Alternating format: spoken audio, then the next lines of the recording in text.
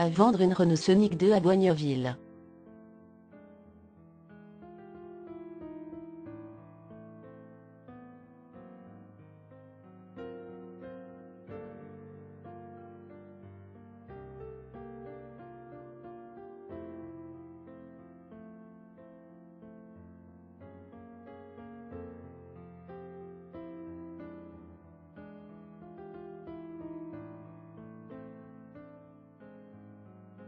Pour plus d'informations, cliquez sur le lien dans la description.